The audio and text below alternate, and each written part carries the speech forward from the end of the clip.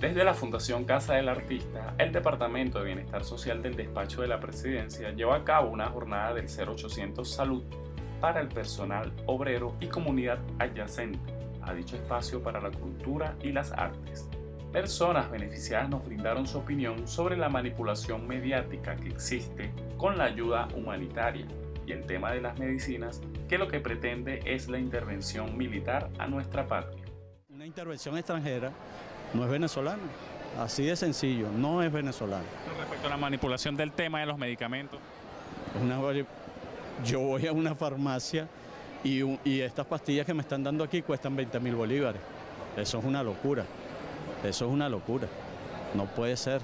Y aquí me la están dando gratis. Y entonces, si, si el, el presidente Maduro no nos ayuda con esto.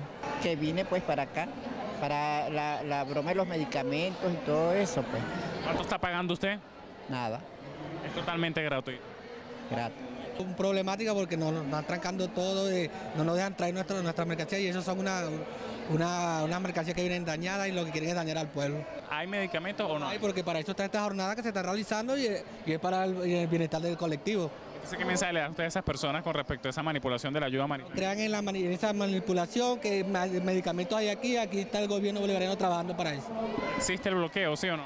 Sí existe, claro que existe el bloqueo. Integrantes de panaderías privadas que desde hace tiempo vienen realizando jornadas de venta de masa fácil, pequeño y pan a precios justos, también hicieron acto de presencia para brindar su aporte enmarcado en la responsabilidad social de las empresas. Precio solidario, pues. Mientras que una bandejita de pequeño te vale un supermercado 16 mil, aquí te vale 6 mil bolívares. No es todo es ganar, ganar, ¿me entiendes? Hay que darle un poquito también al pueblo, pues, venderle a precio solidario. Gracias a Dios el gobierno nos está apoyando también con la materia prima y bueno, mientras que nos estén apoyando, cuente con nosotros también para todo lo que sea, todos los eventos y todo. Estamos con ellos. Hicieron un llamado a que se les siga apoyando con la materia prima, como lo es la harina y la levadura, para seguir colaborando con la comunidad. Para nosotros, lo importante es que conseguir la, harina, la materia prima, para seguir colaborando, ayudando al pueblo, ¿me entiende? Y usted mismo conta el precio que están aquí es mucho mejor que lo que está en supermercado, en cualquier otro sitio.